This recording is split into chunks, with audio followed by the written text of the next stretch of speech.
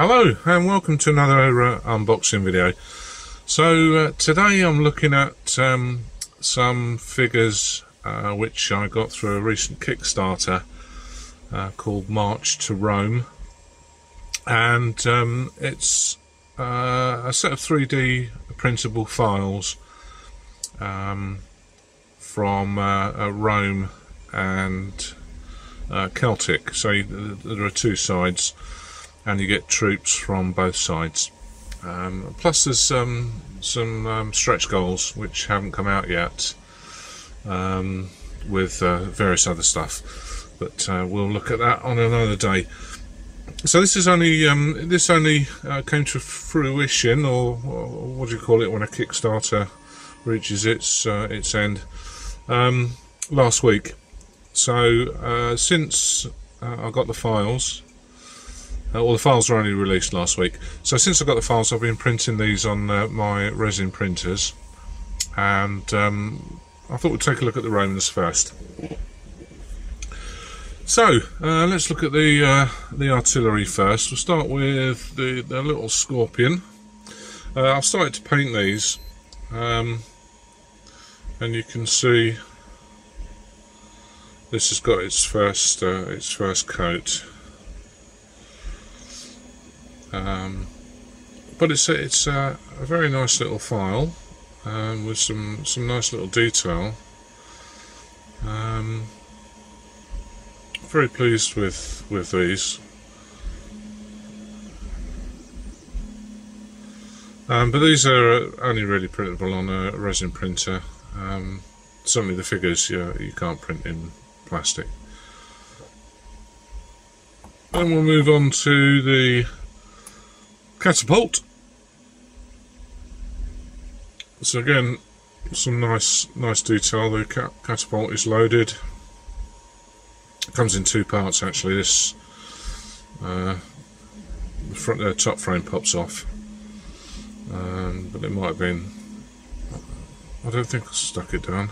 No, I, I won't. Uh, I won't force it.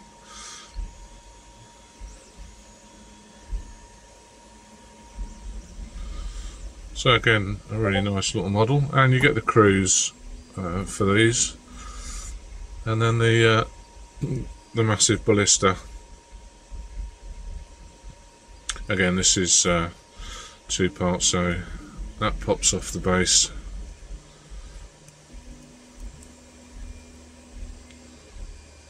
And again, some uh, some nice detail, sort of showing the wood and the ropes.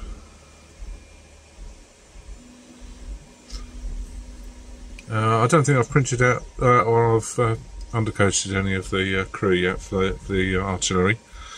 Um, so let's look at uh, some of the troops.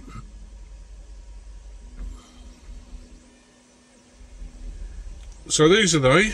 Um, as I say, resin printed. These are 28 millimeter.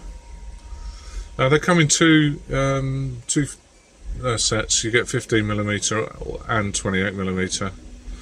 And uh, if you're into printing, uh, certainly the 28 millimeters come either pre-supported or you can add your own supports. And I think most of these I um, use the pre-supported versions. And as with all my uh, unboxing videos these days, um, I spray paint them white and then give them a, a black wash. So um, in terms of uh, troops, uh, Roman troops, you get um, spear, uh, spears or javelins, uh, you get pilums, you get swords, slingers and archers. So um, there's a spear. But I mean the detail on these is really really quite nice. Um, look at the sandals there um, and the chainmail and the belt. Of course giving it a black wash just uh, helps to highlight the details for the videos.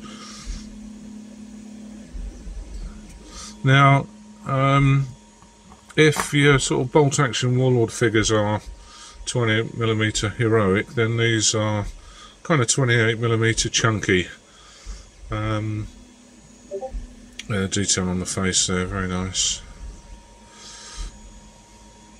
Yeah, they're quite quite chunky figures. Um, you see the lacing up of the uh, the armour there. Uh, a couple of slingers.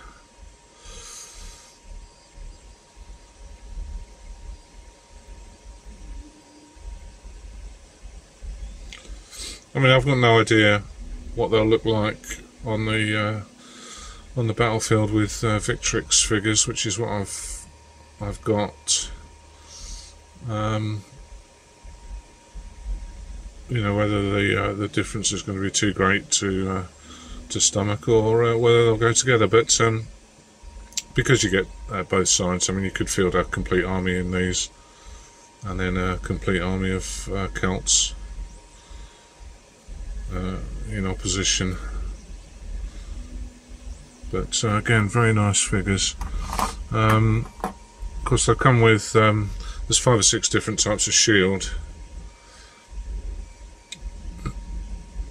And there is a blank shield, so I, am not sure how um, how the commercial uh, decals will measure up to the uh, the shields, but um, these are 3D uh, so I guess they're quite easily paintable without making too much of a hash. Um, and we've got a couple of archers. You get, uh, I think, five or six different positions for each uh, group. So, for instance, we've got um, kneeling, uh, retrieving an arrow from his quiver and firing, standing. But again, considering these are 3D printed. I think these are superb. They did do um, a previous Kickstarter called, I think it was March March to Hell, and it was uh, Pacific, Japanese, and Marines, which I didn't get uh, on board. So I don't, I don't, know what they were like, but I think they're um, similar in kind of stature and size. So some of the mounted figures. I mean, the horse. Uh, these are only held on by Blu Tack. The horses do have a, a slight um, sort of fairground cartoony look to them. And they're not sort of sleek thoroughbreds. They're um, they're they're um, um, kind of farmyard or funfair um, in kind of stature. But uh, but they are very ni- very nice um, designs, and the detail is is really good.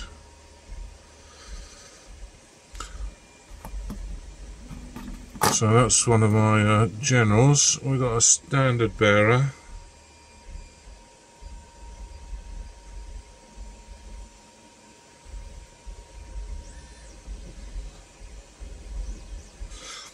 I've not um, decided how to mount these yet, hence uh, I've not put them on any stands. Um, and I've lost my bag of uh, bottle tops, which I normally sort of mount them to for painting. They're around here somewhere, but for the life of me I can't find them.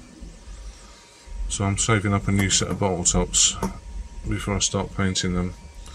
Um, then we've got some, you know, the auxiliary cavalry. Again, you get a choice of shields.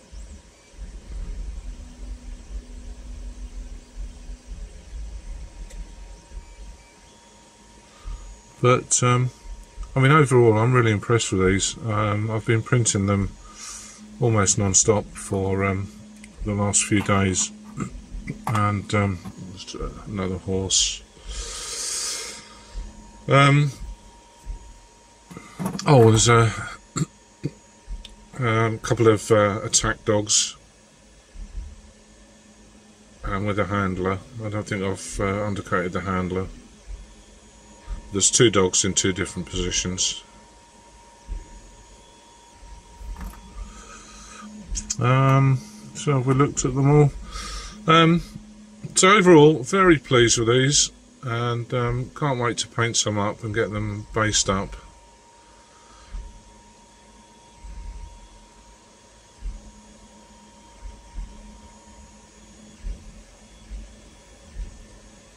So there we have it. The um, 28 uh, millimeter uh, 3D uh, files for um, the March to Rome Kickstarter, and I'll have a look at the um, uh, the counts uh, in another video.